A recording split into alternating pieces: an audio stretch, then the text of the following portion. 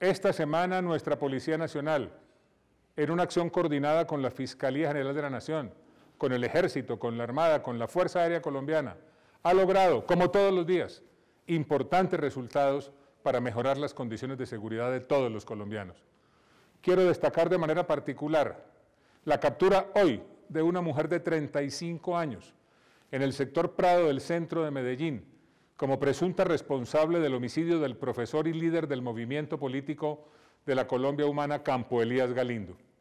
Además, es importante resaltar la captura en Ocaña, norte de Santander, de dos sujetos que se hacían pasar como integrantes del GAO Pelusos, los cuales venían realizando exigencia de 120 millones de pesos al docente Francisco Javier Navarro Navarro, coordinador del Colegio Alfonso López y residente en el barrio carretero central de Ocaña. La víctima fue objeto de disparos a su residencia con el fin de intimidarlo y lograr sus pretensiones. El hecho quedó registrado en cámaras, las cuales fueron verificadas. Con esto es importante señalarles nuevamente que nuestra fuerza pública continúa todos los días operando, generando resultados operacionales para mejorar las condiciones de seguridad de todos los colombianos.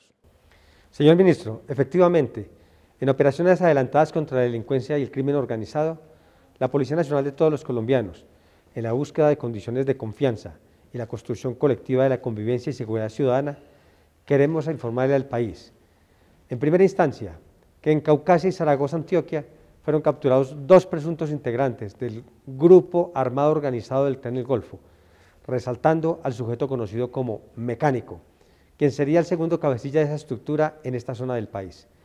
Asimismo, se logra la captura de otra persona en el municipio de Cereté, Córdoba, presunto integrante de los Caparros. Los tres sujetos eran solicitados por autoridad judicial por los delitos de concierto para delinquir, extorsión y porte ilegal de armas. Además, en la lucha frontal contra el narcotráfico en el departamento de La Guajira, específicamente en los municipios de Maicao y Dibuya, la Policía Nacional incautó alrededor de media tonelada de clorhidrato de cocaína, alcaloide que era transportado en dos vehículos de servicio público. Por estos hechos fueron capturadas dos personas. Igualmente, en San Pedro, Valle del Cauca, fueron incautados 100 kilogramos más de la misma sustancia, capturando a dos personas como responsables. Ahora bien, frente a la protección del medio ambiente y los recursos naturales, la Policía Nacional de todos los colombianos en Sabana Larga Atlántico capturó a ocho personas por el presunto delito de aprovechamiento ilícito de recursos naturales renovables, quienes venían explotando el subsuelo de manera irregular. Igualmente fueron intervenidas cuatro minas auríferas en Ituango y en San Roque en el departamento de Antioquia, incautando insumos propios para estas actividades ilegales. En operaciones contra el contrabando en todo el país fueron aprendidas mercancías avaluadas en más de mil millones de pesos por no portar los documentos que soportaran y acreditaran su legal introducción al territorio aduanero colombiano. Seguimos comprometidos con la seguridad del país y trabajando a diario por mejorar las condiciones de convivencia y tranquilidad de todos los colombianos, porque finalmente somos uno y somos todos. Las fuerzas militares, en coordinación con la Policía Nacional y en un trabajo articulado con la Fiscalía General de la Nación, continúan la ofensiva contra los grupos armados organizados, contra las economías ilícitas en pro de mejorar la seguridad de los colombianos. Por ejemplo, en norte de Santander, en coordinación con la Policía Nacional, se desmanteló un laboratorio para la producción de clorhidrato de cocaína. Ahí se incautaron más de 900 kilos de este alcaloide y se desmanteló totalmente este laboratorio.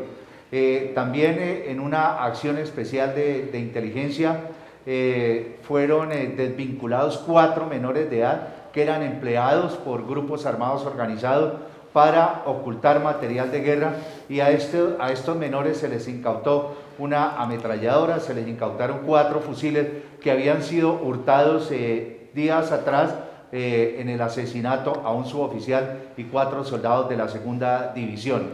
Eh, también en el departamento del Casanare hubo unas capturas muy importantes. Cinco bandidos de la red de apoyo al terrorismo de Grupo Armado Organizado Residual, estructura 28, operación que incide de manera favorable en la seguridad del departamento del Casanare, principalmente en los núcleos urbanos del Piedemonte. Pero no solamente estamos trabajando en el territorio nacional contra el crimen transnacional organizado, sino también más allá, en cooperación con nuestros aliados en Centroamérica, se produjo la incautación de más de dos toneladas y media eh, en Costa Rica y en Guatemala y en Panamá.